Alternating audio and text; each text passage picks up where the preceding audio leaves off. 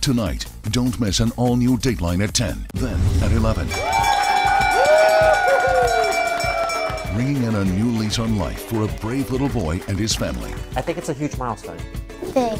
See how they're celebrating success after a three year battle against a deadly disease. The special way Zach and his family are saying thank you to the men and women who helped save his life. I think it brings hope and to all the other families. Happy.